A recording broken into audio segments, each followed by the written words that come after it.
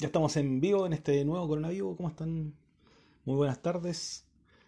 Cuatro minutos para las 7 de la tarde en este 29 de junio. Ya se nos fue eh, el otoño. Ha comenzado fuerte el invierno en la zona central. Paula Flores. ¿Cómo estás, Paula? Saludos. ¿Cómo va todo? Negro Styla.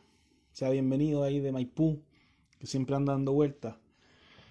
¿Cómo están con la lluvia? ¿Qué tal los, los trató? Yo, MX, Paula, saludos. Buena onda. Verdurifrutis. Oye, Verdurifrutis, reparte la zona de Puente Alto. No tengo. Me falta un delivery de, fruta y verdura. Tal vez puede ser tú, Verdurifrutis. Nata, ¿cómo estás, Natu? Aquí estamos en un nuevo coronavirus, edición número 47, 47 y 48, porque hay una edición especial que hicimos con Festival Utopía el fin de semana que estuvimos entrevistando a y Valdés Hoy día estamos con el Mimo Tuga directamente desde Valparaíso, un tremendo artista callejero que muchos de nosotros hemos visto cuando vamos a Valparaíso. Mona Twister, saludos ahí a los hermanos de Conchalí, Teatro en Movimiento, saludos, Lanato, a mi hermano que se suma a Leales, Dominic saludos. Oye, sean todos bienvenidos y bienvenidas a esta nueva conversación de coronavirus hoy día con, eh, con el Mimo Tuga. Vamos a conversar un poquito eh, con él sobre acontecer, sobre actividades, sobre desarrollo, sobre el arte. Eh, vamos a ver qué tal el, mismo Tuca hoy día eh, en la conversación directa. Vamos a mirar lo que está haciendo, lo que no está haciendo, cómo se está desarrollando, cómo se está creando. Estamos en un nuevo coronavirus, edición número 47, una edición especial tuvo entre medio.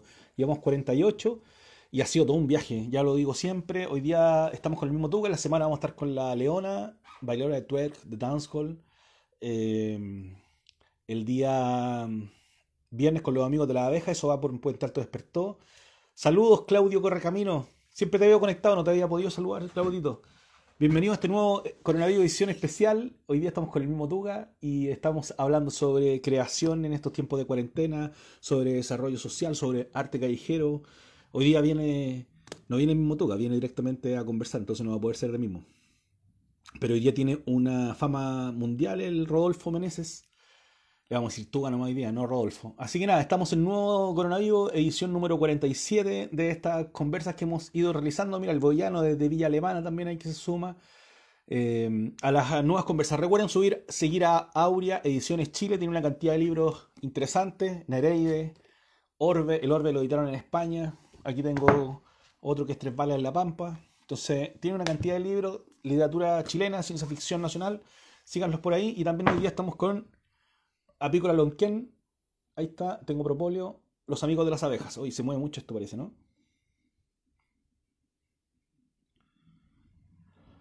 Ah, mira, ayer lo viste en el reportaje de ArtV. Creo que en ArtV están dando. Mm, están dando el documental, que es con su permiso. Creo que está ahí el Tuganese eh, con ese proyecto ahí. Bueno, no, lo tengo muy claro, sí. Hoy se mueve mucho la camarita, parece, ¿no? Hoy día está muy movediza, la vamos a cambiar de lado. Erika Alcaíno, Chris, Subgraphic. ¿Cómo está Chris? ¿Cómo está la peguita? Ya lo vamos a cambiar acá. Estamos ready, se ve bien, se quedó mejor ahí, ¿no? Bueno, vecino. Karencita, Karen Polola, ¿cómo está?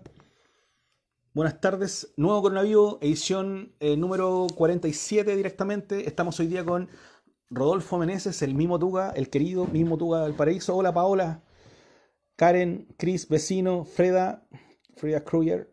¿Quién más está? No sé. el Choloro y el primo. Chino Silva, tírame por interno lo que te pedí. La Dani también. Oye, que mucha gente hoy día se está conectando ahora al Tuga. Soy mi tía Paola. Hola tía Paola. Oigan, chicos, como están, estamos esperando al Tuga, edición número 47 de Coronavirus. Sigan eh, las redes, estamos haciendo continuamente mm, material. Esta semana estamos con eh, La Leona el, miércoles, el viernes vamos a estar eh, con los amigos de las abejas, que son los chicos de Apícola Lonquema, vamos a aprender sobre abejas. Eso va por Puente Alto Despertó.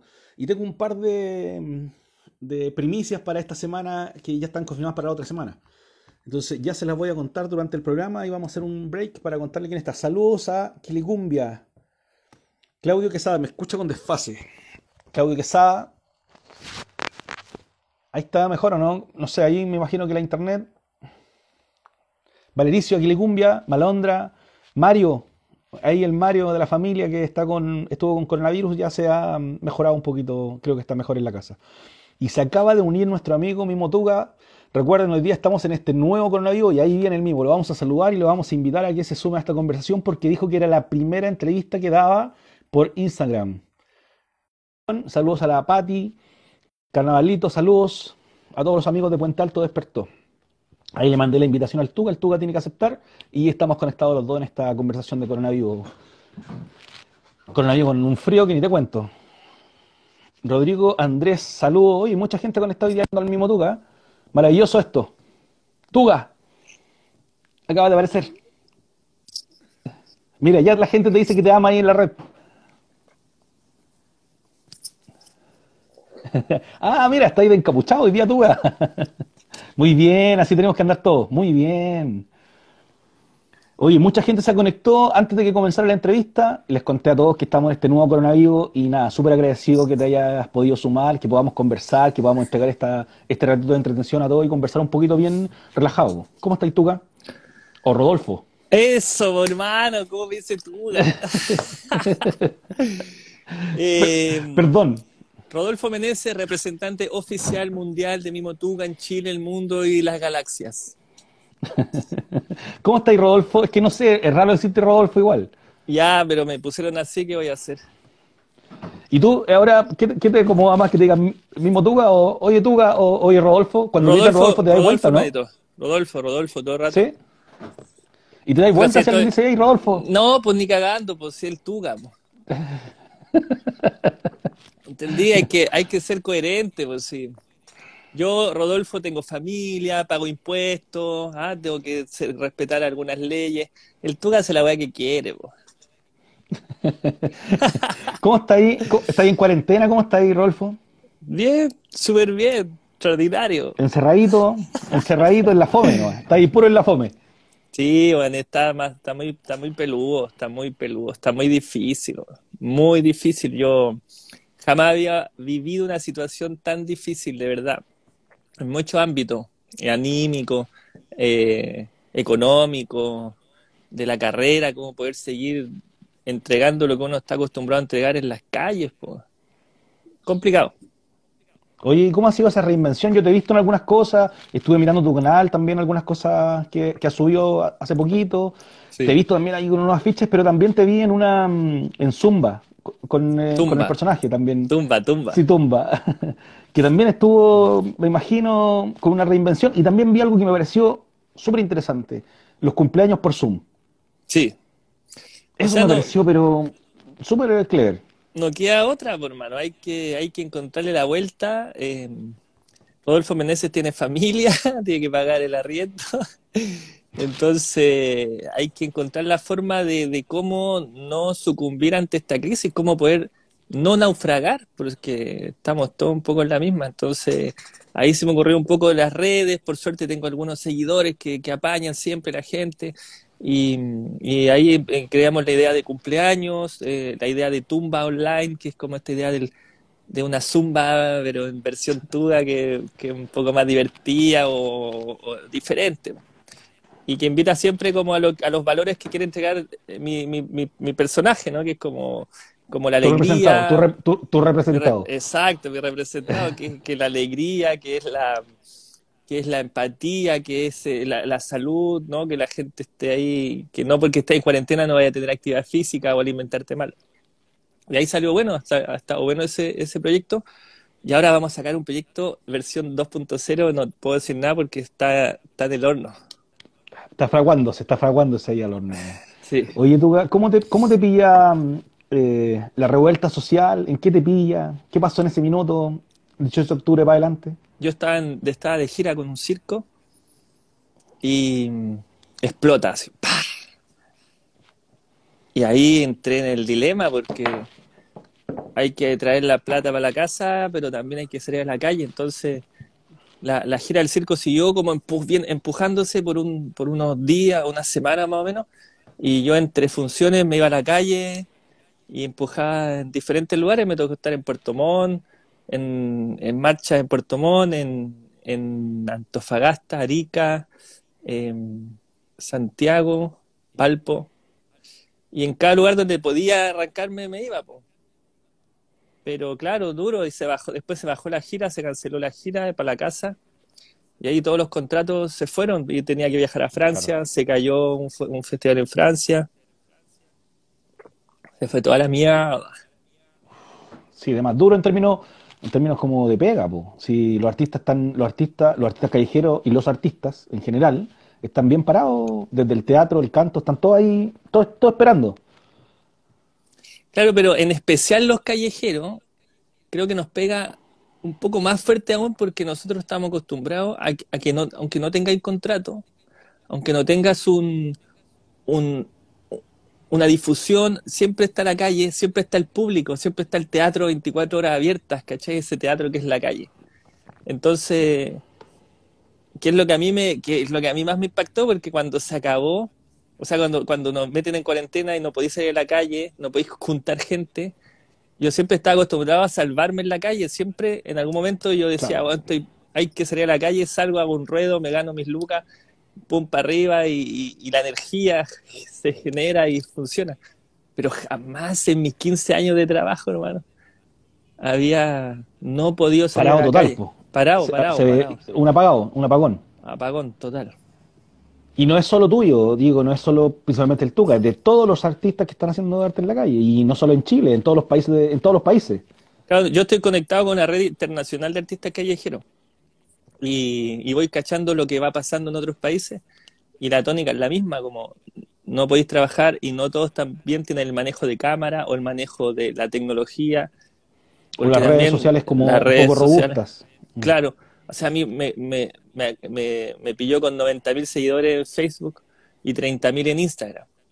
Bacán, porque tengo ahí un, hay una base, un público que te sigue, que te conoce, que, que sabe lo que estás haciendo y te apaña pero hay cabros, y amigas que, que no tienen esa robustez desde cero, entonces, y, ahí creamos eh, ACU, se, armó entre varios artistas callejeros, ACU, que es la agrupación de artistas de calle de Unidos, Artistas Callejeros Unidos, y que se, se creó para poder unirnos y, ir en ayuda de los, los, que están pasando lo peor. Yo hasta ahora puedo comer y pagar el arriendo. Estáis bien igual, digo, estáis está ahí. no como otros que de verdad están bien complicados. Sí, Oye, dentro de eso, eh, yo he seguido tu carrera, te he visto en hartos lados, te vi hace unos años presentar, creo que una de las mejores presentaciones que yo he visto en la Convención de Circo y Arte Callejero, presentar una gala de circo de sí, que fue, terminaste bailando con unos niños adentro del escenario, ¿Qué tal ha sido esa experiencia, ese tipo de escenario, ir a la Combe y estar en Francia, en Italia, en Moscú, no sé, en Japón, no tengo idea, y recorrido el mundo con eso también? Sí. ¿Cómo ha sido también esa, esa vuelta? Eh, extraordinaria, pues, o sea, como que han sido los frutos de todo lo que yo he querido sembrar. Como, como llegué al Teatro Municipal a trabajar en la Ópera Nacional, y el Tuga, yo pasaba así 20 años pasaba por afuera del municipal y decía, ya, qué onda, lo elitista, que es súper caro todo.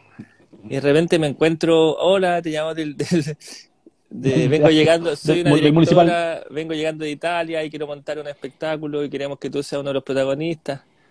Wow, eh, también el festival en Moscú, ir a viajar a Moscú con todo pagado.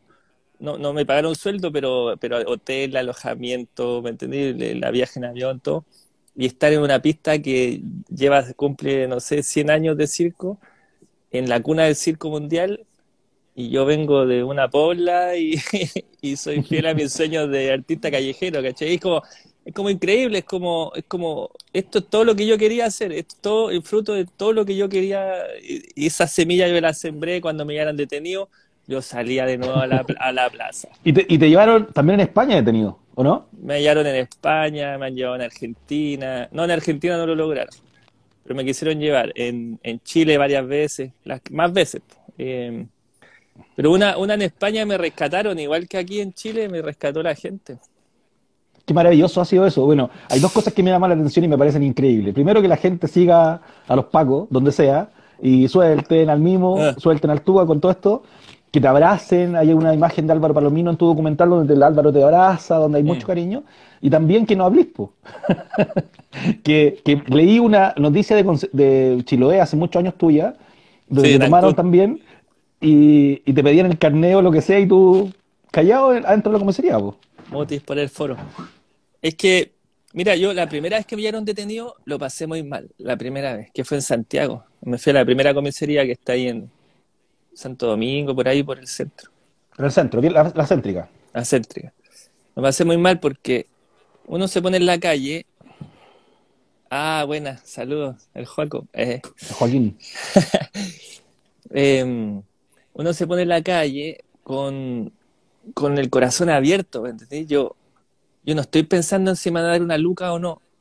Estoy pensando en cómo conectarme con esa persona y ir al fondo y jugar. Y jugar. Vamos a vacilar. Este es el momento que se te olvide todo, vacila. Y está todo permitido mientras los dos queramos.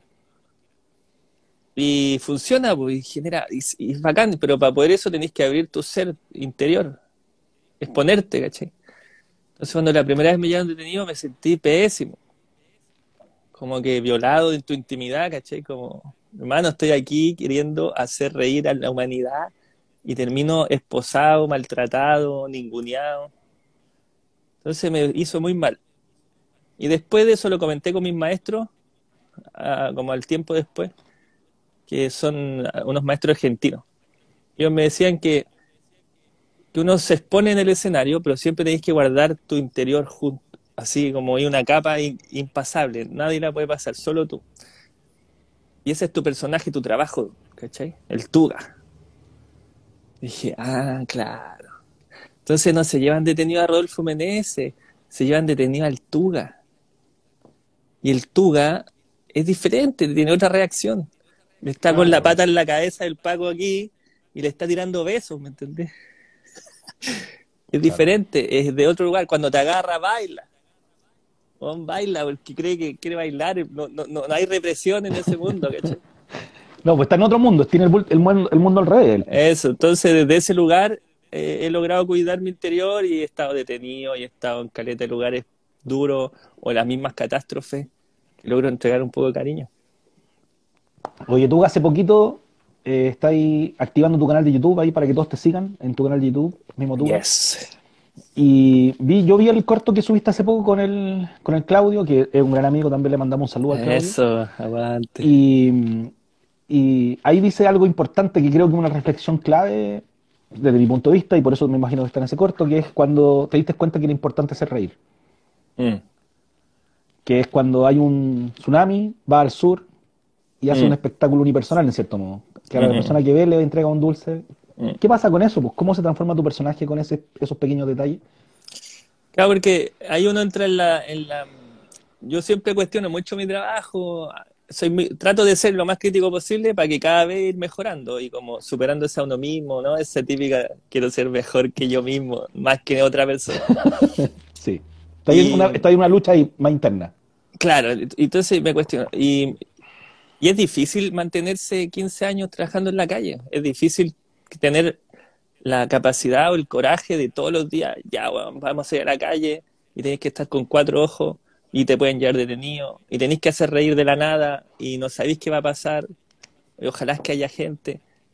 Entonces llega un momento en que dice, wow, esto, es muy difícil y, y será tan importante, será de verdad tan tan relevante que tú te llegue una ¿Servirá, vida eso. ¿Servirá? Servirá, ¿servirá? Y, y, en eso, bueno, uno siempre sigue trabajando y entre medio pasa un, tsunami, el, terremoto, en Juan Fernández me llaman de la Intendencia, Tuga, hay cabaña, hay alojamiento, hay transporte, no te vamos a pagar nada, pero puedo, ir a apañar, hay gente que perdió todo, sus casas, un niño desaparecido.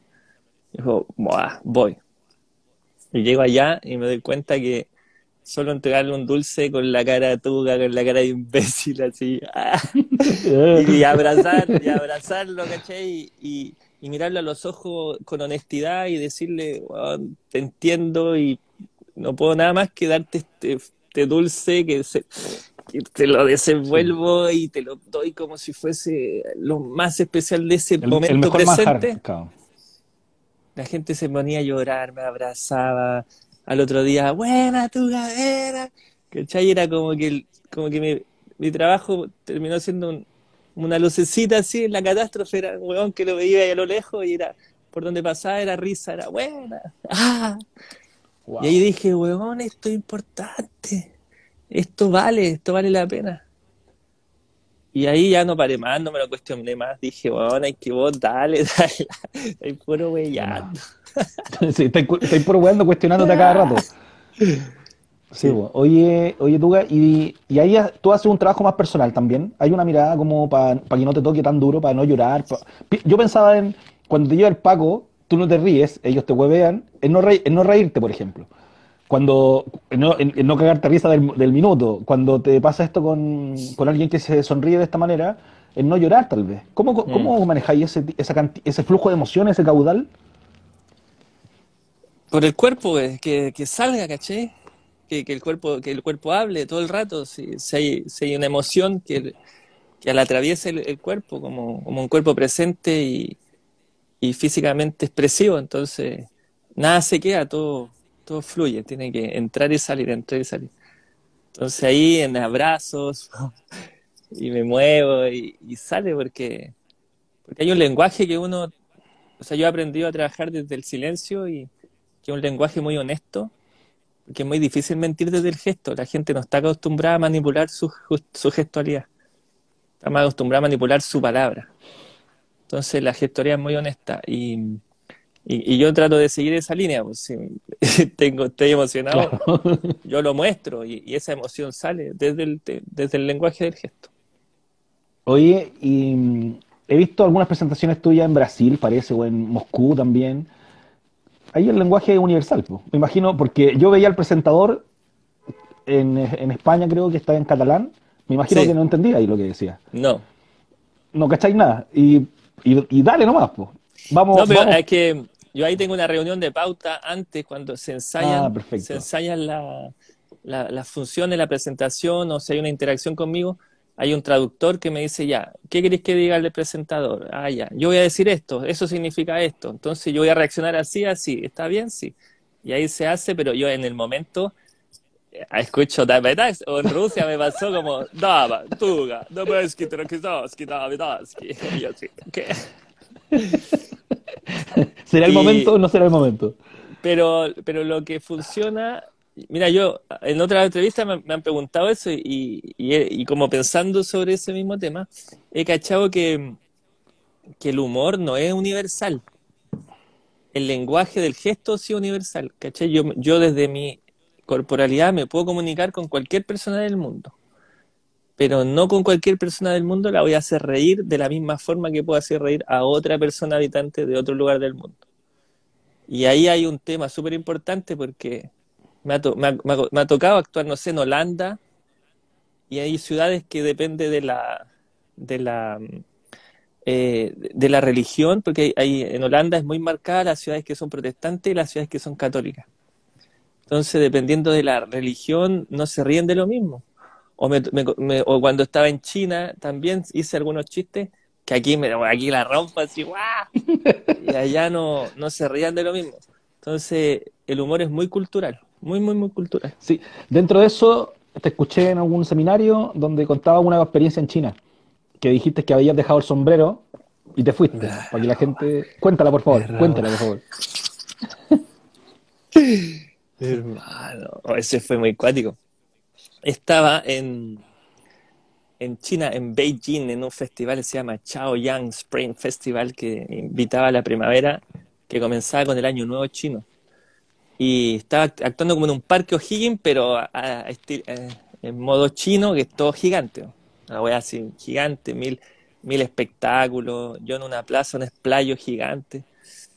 Y claro, la primera función, terminó la función y yo iba pagado iba pagado por el festival más la gorra, era el trato. Entonces la gorra era parte de mi sueldo. Ya, y termino la función, me saco el yo, eh, usaba un sombrero, lo pongo en el centro y hago, ¿no? Como vengan a, vengan a echarme platita, hago el gesto, todo, buena. Estoy cansado, todos se rieron. Y ahí empiezan ahí empieza a llegar cachada de cabros chicos y me llenan la, me llenan la, la gorra de billetes, muchos billetes y bacán, y yo, wow, bacán. Y hacía la fiesta, y, echan, y echan, y echan, y echan, y de repente siguen, pero ya no echan, sino que empiezan a sacar. Y empiezan a sacar, y venían y sacaban, venían a sacar, y los niños se iban así, con, le salían los billetes por, los, por los puños. Y yo así, ¿qué? ¿qué?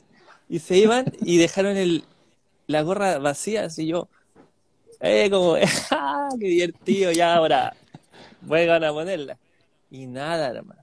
Los papás con los niños de los brazos, cagados las risas. Se fueron. Y se quedaban ahí como esperando qué iba a pasar. Como, ¿qué, qué ¿Y ahora qué sigue? Y yo insistía como que... Y nada, pues, me fui y ¿Jodiste? ya, chao, sí. Chao. y me fui lento, así como triste. Miraba de vuelta y me iba. Como para eh, hacerlo emotivo, eh, a ver si cachan. Nada, bueno.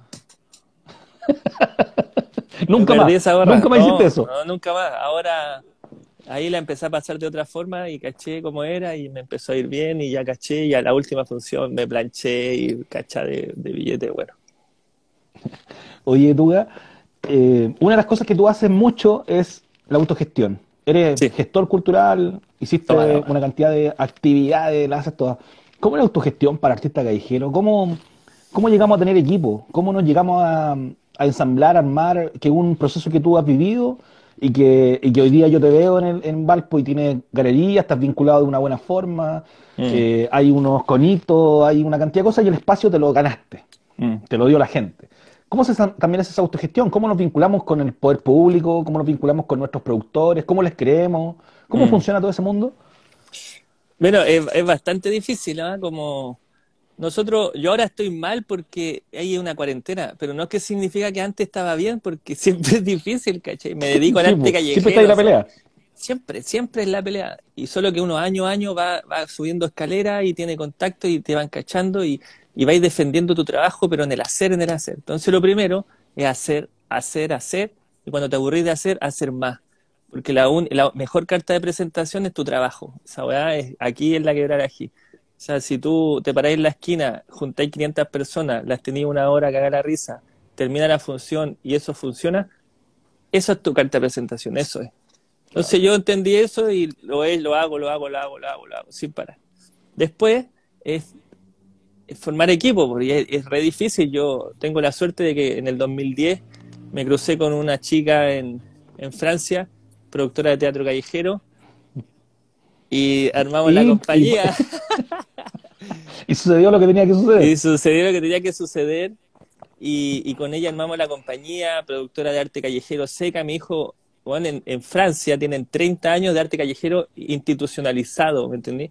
Hay libros que hablan sobre el, ¿Qué pasa cuando un festival de arte callejero sucede en una ciudad? ¿Cuáles son los reportes económicos que dejan el turismo o en el comercio? A ese nivel están allá. Entonces, ella me, mostró toda la visión más pro o, más producida ¿no? del arte callejero, como cómo presentar un dossier.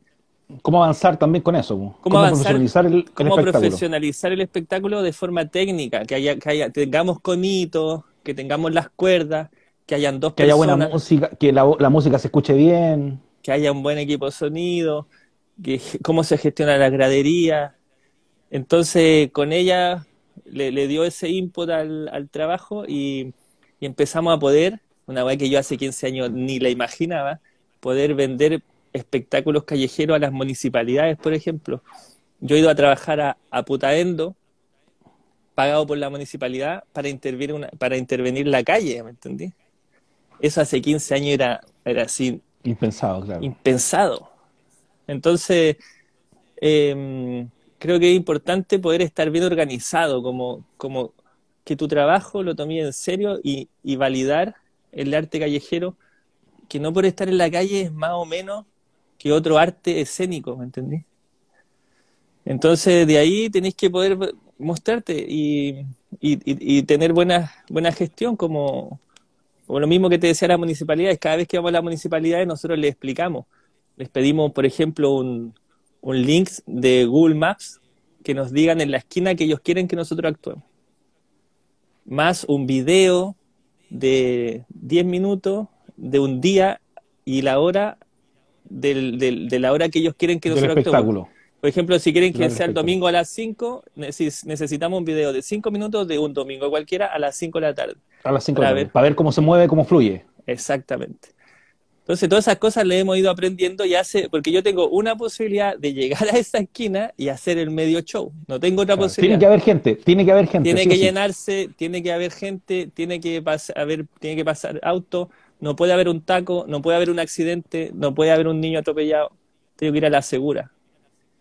Y ahí hemos ido aprendiendo. Entonces, lo más difícil de- del arte callejero es, es la gestión con las instituciones que no saben administrar su espacio público.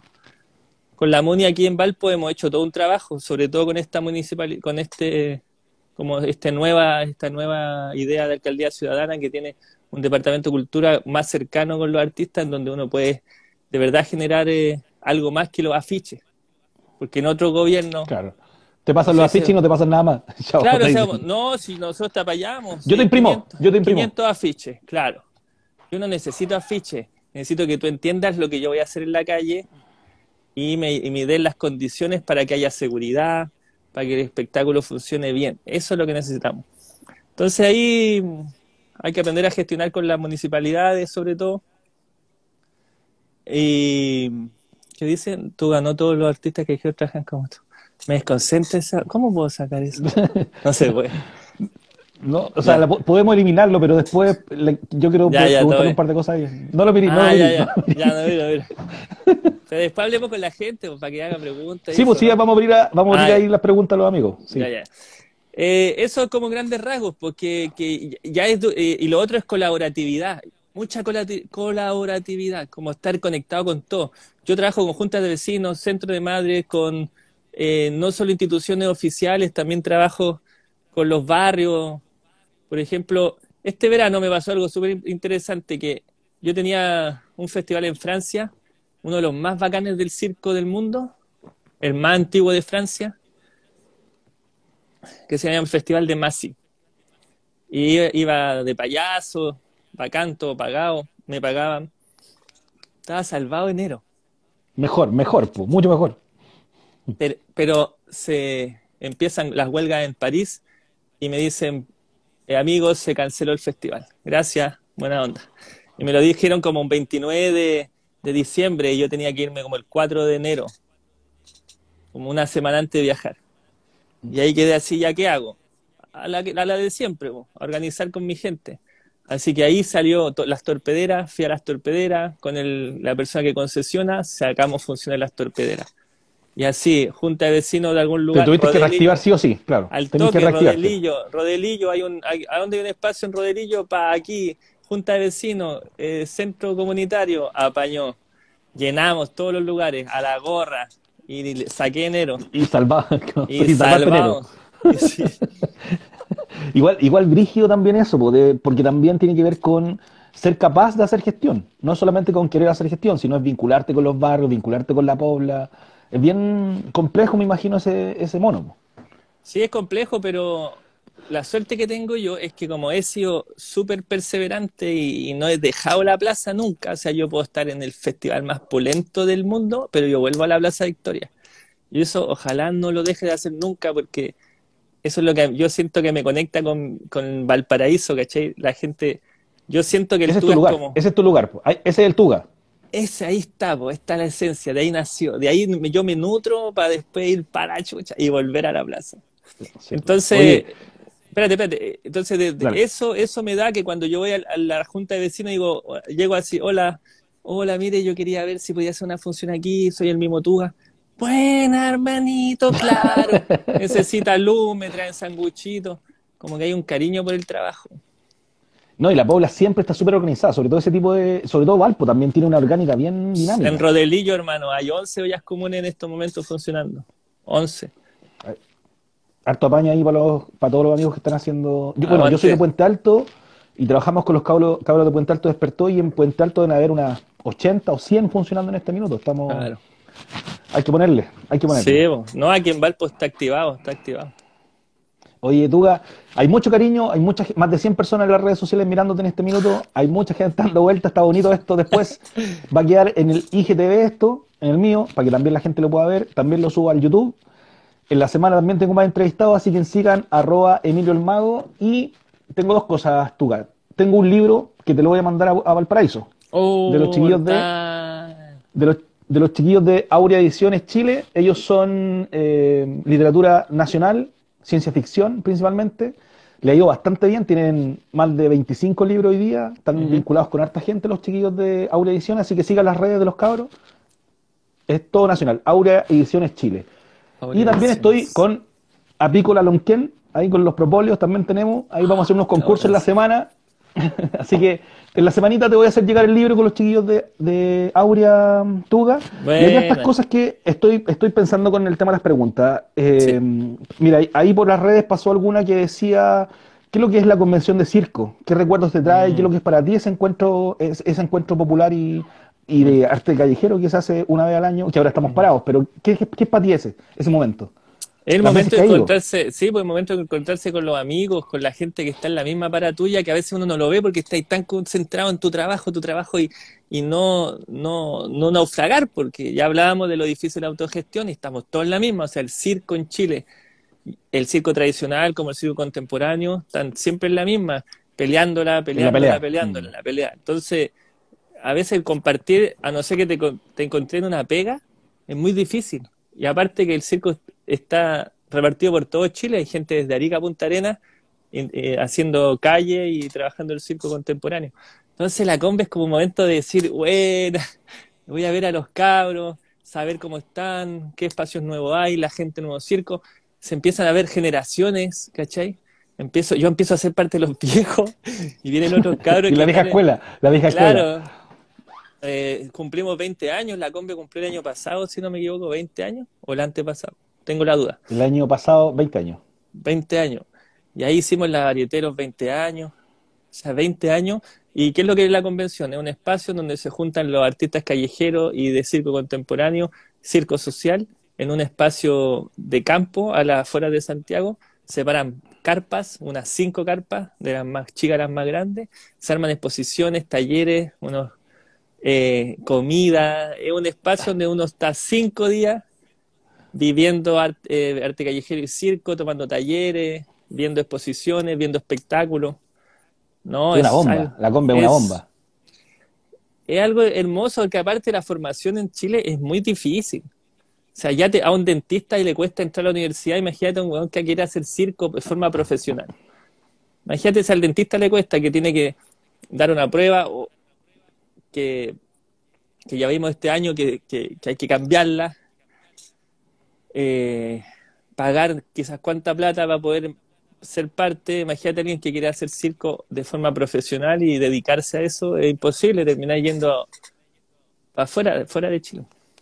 entonces, que sea también, pues, entonces ese lugar es, rico, es un lugar que no se tiene que perder y ahí un saludo a Circo Chile que siempre apaña y levantan a como dé lugar el proyecto y puro corazón.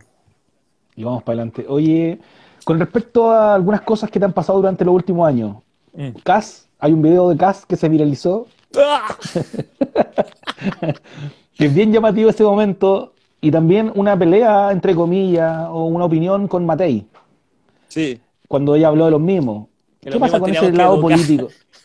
Sí, ¿qué pasa con ese lado político también? Con esa, con esa, mm, con esa casta que tenemos hoy día muy a la derecha. Mira, yo, nunca me quise meter en política de esa política dura, ¿no? Creo que el arte callejero ya es político en sí, el arte es político en sí. Creo que yo pararme en un espacio público a hacer arte es político. Y a mí me hubiese gustado quedarme en ese ámbito. Pero tuve que saltar a este ámbito que es mucho más contestatario y directo, porque ellos se meten con nosotros. O sea, si ellos se están metiendo con nosotros, ellos nos están diciendo que cómo tenemos que vivir o decidiendo por las mujeres con el tema del aborto. Entonces, ¿cómo no ser parte? Es una reacción al final, es una reacción a una, a una provocación que un presidente de Chile no vele por la seguridad de su pueblo, por la salud de su pueblo y que y veáis que es beneficiado el grupo económico que es reducido, es imposible que un payaso que busca el amor, la esperanza y la humanidad sea indiferente. Estuviste en el Congreso de, de Mimo también en algún minuto. y que los pacos te querían llevar desde que entraste. Sí, pero yo fui de elegante, andaba con este. Sí, sí. ¿Ah? Sí, estaba ahí bonito. Estaba, estaba en una vestimenta adecuada, me comporté de forma adecuada. No había nada que decir. Solo que era un personaje. Tenía 10 pacos alrededor, pues. Tenía exactamente 8 escoltas de carabineros y.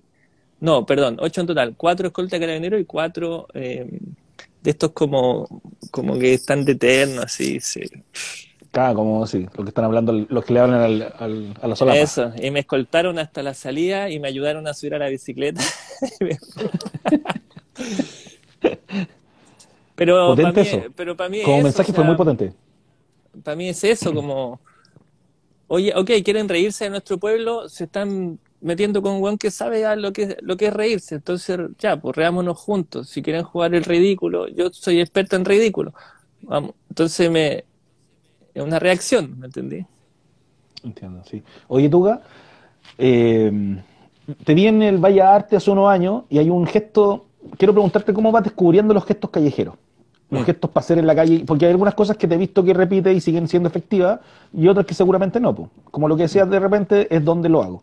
Mm. Pero había uno que te viene en, en el GAM, en el GAM, no, perdón, te vi en el Bellarte, donde tiraste la plata. Primero, juntaste mucha plata, no sé, no tengo idea, pero mucho dinero, te lo, y, me llamaba la atención que se lo ibas quitando a la gente, tac, tac, tac, tac, tac, quitando así, mi plata, mi plata, después al bolsillo, al bolsillo, mucha plata, mucha plata, y en algún minuto la tiraste al aire y pasaban los autos y había un remolino y giraba la plata. Fue, para mí, miraba, fue sublime, en términos de no me interesa la plata, en términos de lo que pasa, y aparte que el show se amplió una hora más, porque ahí era parar el auto, sacar la luca, no tengo idea. ¿Qué pasa con ese tipo de momentos, de gestos? ¿Eso lo inventaste, lo buscaste? ¿Dónde dónde los descubrí? Mira, hay, a mí me cuesta mucho crear mientras no estoy en escena me cuesta mucho. Soy, estoy muy, y es una, es como una, no sé, no, no es maldición, ¿cómo se podría decir? Una mala, una deformación, no sé, pero a mí me encantaría poder sentarme a escribir, ya voy a hacer esto, voy a hacer esto, voy a hacer esto, pero no me funciona.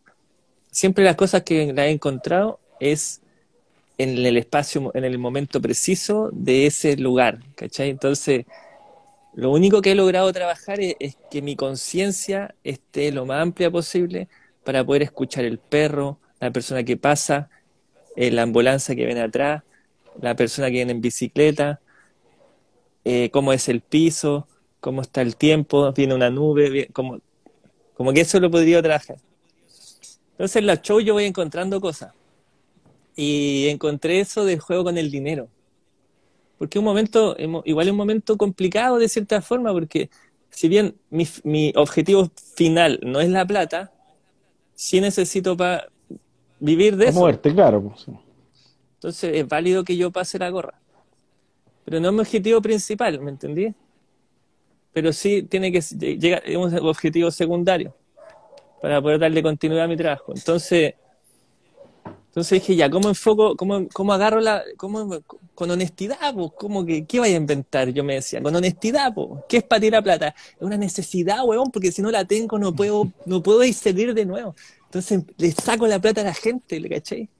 Y es como, si es mía, pásamela, pásamela, pásala la plata. mi dinero, mi dinero, mi dinero. Mi dinero.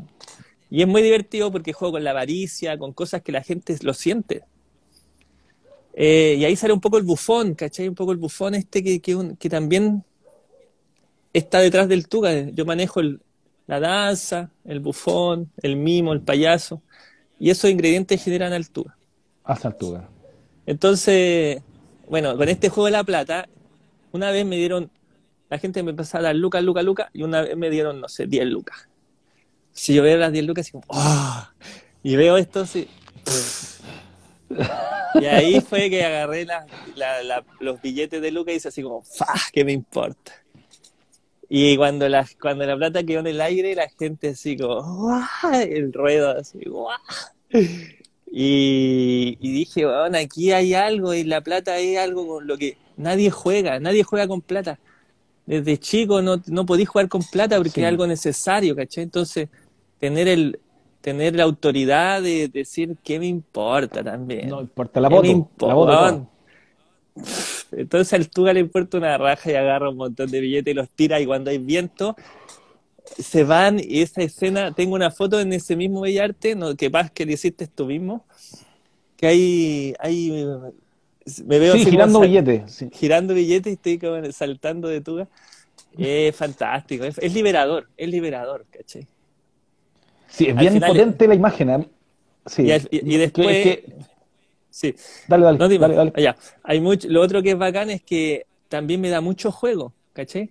Me da mucho juego porque después recoger la plata, que para dónde se fue la plata, eh, la recojo toda. Devuelve no, la plata. Devuélveme la los plata. autos. Exacto, ¿cachai? Entonces es un muy buen momento me encanta, me encanta jugar con la plata. Qué potente. Oye, Tuga, lo más complicado que te ha pasado en escena, donde no, Ujú. desde donde no hay podido salir, ¿qué te ha pasado? ¿Cómo? ¿O hay salido debilitado? Desde alguna, no sé, que alguien no quiera participar, de que alguien se siente incómodo, ¿qué es lo más difícil que te ha pasado en un escenario? Sí, me- ¿sabes qué me ha pasado? Que mm, cuando me equivoco, cuando me equivoco, como, como no debería haber intervenido con esa persona, no debería haberla invitado a jugar porque no tuve una buena lectura, no la leí ver, no le hice el escáner, ¿cachai? Yo tengo que hacer un escáner que dura un segundo, que es Que mirar a la que persona, tenga ganas. mirarla a los ojos, hacer contacto visual, eso es lo primero, primero, o sea, tú no podés jugar con alguien que no la miraste a los ojos, eso es regla. Los que se dedican a esto, anótenlo. Si usted quiere intervenir a una persona, mire a los ojos antes. Y ahí usted va a saber, le va a hacer el escáner a la persona, si está con disposición o no. Y a veces, sobre todo en mi inexperiencia, mis primeros años, yo quería salvar el show, entonces no, a veces no le hacía caso a eso. Y ese es el error de- del principiante que quiere, que, que se siente, siente la presión del hacer, del hacer reír. Y que cuando no está haciendo reír se desespera y hace cualquier weá. Ese es el, el típico error. Y ahí yo me sentí muy mal porque me he pegado cagazos. Pues una vez le boté una torta a una señora. ¿Cachai? Y yo no quiero botarle la torta a la señora. No es mi intención. No. ¿Para qué? No. Una vez hice un, un chiste. eh, eh, hice un chiste de, de abrirle el brazo así y mientras bostezo le saco el gorro a la persona. Estaba en Marsella y le saco el sombrero al caballero y tenía un hoyo, un hoyo así gigante. Habían, no sé, 400 personas en el ruedo y se hace un silencio incómodo. Y tú decís, yo no quería exponerte así, no era mi intención, no me di cuenta y claramente el caballero no venía con ganas de jugar, si yo hubiese sido más avispado. Entonces esas cosas, yo como me han pasado esas cosas y ahora soy mucho más cuidadoso y a veces prefiero perder un chiste y estar tranquilo, hermano. Y no dar la joda, y no dar la joda, claro. Tranquilo, tranquilo. Lo primero que tienes que hacer en la escena es estar tranquilo. Si tú no estás tranquilo, no lográis escuchar, no lográis sentir. Si uno no siente, tu trabajo no es verdadero. Entonces pasa a ser un, un mimo cualquiera que huevea, que, que huevea y parece perrito atrás de los autos y parece perrito atrás de la gente. Se vuelve Oye, vacío ¿qué tan, qué importante es la, en el desarrollo y la creación artística que tú conozcas de danza, de folclore, que toques violín? Eh, ¿cómo se ha construido el Tuga con todo eso? ¿Qué tan importante son ser multiartista? Eh, hay que. mm, Una vez escuché, no me acuerdo de quién, pero debería saberlo, que la nariz había que alimentarla. Entonces, desde que. Como que siempre he aprendido a, a- a hacer, creo que aprender, no hay que parar nunca de aprender. No solo pensando en el hacer reír, sino aprender. Yo le, le sueldo, le coso, le cocino. Todo, Se hace todo lo que venga. de. Claro, por ejemplo, ahora para, lo- para esto de la, de la epidemia y todo esto, tuve que armarme un estudio croma en la casa de un vecino que justo no está viviendo aquí. Me prestó la casa y estoy aquí en un espacio eh, donde y tuve que poner unas cortinas verdes Sí. para, ¿cachai? para hacer un croma. Hermano, fui Sí, a para hacer los Para hacer tus Claro. videos que están en tu canal de YouTube para que la gente te siga. Mismo Tuga en todas las redes sociales, Instagram, Twitter, Facebook. y fui, y ahí tengo, fui a agarrar las telas, para máquina de coser y hice el telón de 6 por 5 metros, ¿cachai? Y hay que aprender, hay que saber, porque uno nunca sabe en qué momento te va a presentar. Como que uno tiene una maleta y esa maleta hay que llenarla de cosas, de cosas, de cosas. A mí me gustaría aprender mucho más, me gustaría dedicarle más tiempo al aprendizaje, pero como somos artistas autogestionados, siempre tenemos que estar generando, generando, generando, generando, generando. Entonces me cuesta perderme en el mundo del, del no generar dinero, que es un mundo sin presión, donde podía hacer cosas que, que perderte, perderte en la investigación y, y, encontrar ahí en lo profundo, pero eso cuesta porque no hay subvenciones, no. Yo no tengo un millón de pesos mensuales para alimentar a mi familia y poderme ir a investigar al Tuga en la lluvia, por ejemplo. Me encantaría, el Tuga en la lluvia es una manera extraordinaria, lo he hecho. Pero no puedo porque tengo que ir a lo que me da Lucas. Sí, claro, y el tema de la investigación es caro y es largo, no es una, no es una cosa corta. Oye, Tuga, Hay que nos, quedan, nos quedan unos minutos eh, hasta que se corte la conversación. Abramos la conversa a alguno de los amigos que quiera preguntarte algo, que te quiere decir algo ahí en, la red. Eh, yo todavía me quedaron muchas preguntas, pero primero agradecerte también, Tuga, toda esta buena onda, la buena onda de poder eh, conversar en este programa. Te cuento, este programa es el número 48 que hago. Eh, he estado con un, en un viaje con mucha gente para que sigan la red arroba Emilio el Mago. Yo igual que tú soy Emilio el Mago en todas las redes. También voy a encontrar como Emilio el Mago en todas las redes. Entonces, para que sigan ahí la red, vienen más entrevistados y esto es una primicia. El próximo martes estoy con el eh, percusionista de Los Auténticos Decadentes. Vamos a estar conversando acá. Así que eh, también vamos a estar con el Nacho Pop, vamos a estar con la Leona, con Amigo de la Abeja, mucha gente. Vamos. Primero, Tuga, ¿aprueba? Dicen ahí. Todo el rato. Segundo, Tuga, eh, dicen eh, que te mantengas fuera de la TV. ¿Te han invitado a la televisión? Muchas veces. Muchas veces. que he tenido muy mala experiencia en, en, el, extranjero, sobre todo. Y, y que yo sí, si pongo al Tuga en un espacio que no es, no es honesto, el Tuga no funciona, se muere. Necesito un espacio honesto para trabajar, como la calle, como un circo, donde las respuestas son honestas. Pero un panelista va a estar así, se va a reír incluso en momentos que no se tiene que reír. En momentos que yo lo quiera poner incómodo, va a encontrar la forma de hacerlo simpático. Entonces la tele vale, es, muy mentira, es plástica, no me sirve a mí. A mí me sirve que la tele venga a la calle y le muestro mi espacio, como yo creo, qué hacemos en el espacio público, el cariño de Valpo con el Tuga, y eso lo hemos hecho, pues hemos salido un programa de TV, hace poco se, se pasó el documental por RTV, pero yo ir a un estudio, no, no lo veo. Oye, Tuga, otro gente dice ahí, ¿irías a Festival de Viña? Depende, depende qué, de qué estamos hablando. ¿De cuánto? No, no solo de cuánto, ¿De cuánto, y cuánto pero, pero ¿qué, cuánto, cuánto tiempo, qué, qué voy a hacer, o sea, ¿tengo libertad o, me van a revisar la rutina o el contexto de Chile? ¿Me entendís? Como no es algo que descarto, tampoco es un objetivo. Yo no, no, mi trabajo no va en dirección del Festival de Viña. No sentiría como que llegué a un lugar. Claro, no es sentiría, nada. Es, otra pega nomás, es otro escenario. ok, me van a llamar, voy a ver, sí, no, no sé ahí veremos. No me, no me calienta tanto. Quizá un desafío, porque sería un escenario difícil y me gustan los desafíos. No sé. Oye, oye Tuga, mucha gente pregunta dónde compro las poleras del Tuga, dónde compro ese yogi que yo lo quiero, dónde, dónde todo, todo cuéntame, cuéntame un poquito de eso, ¿dónde encuentro? Oye, este yogi es único porque me lo regalaron para los 15 años del Tuga, pero voy a sacar más, voy a contactar con esta persona y voy a sacar una línea de, de ¿cómo se dice? Una línea de merchandising. Que tenemos los, tenemos los tazones de los 15 años, eso.